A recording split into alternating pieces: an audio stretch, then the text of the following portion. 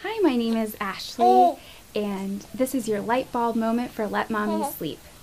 Today we're going to talk about burping.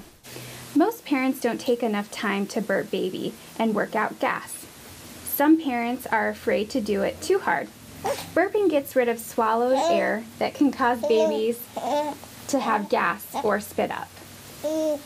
One of our favorite positions is the seated position.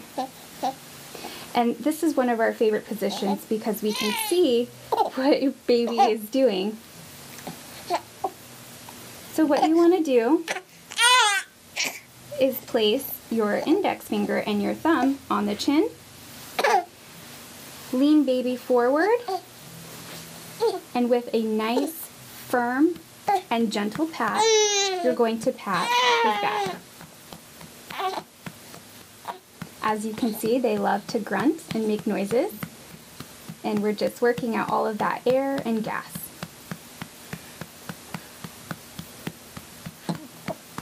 Good job!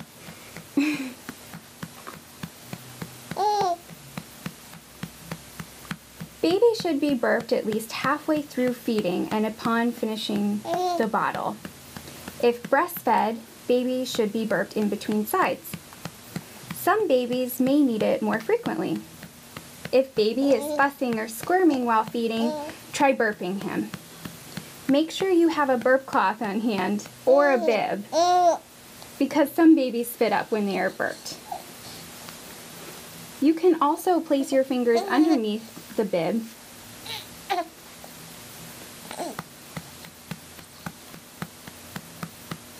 If you don't get a burp while in the seated position, you can move to the shoulder. Once again, you want to have a nice firm and gentle pat.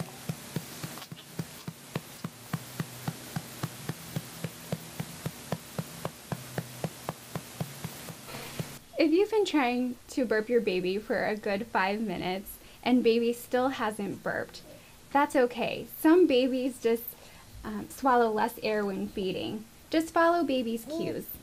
If they seem content, which he is, you probably don't need to burp at this, at this time, and that's okay.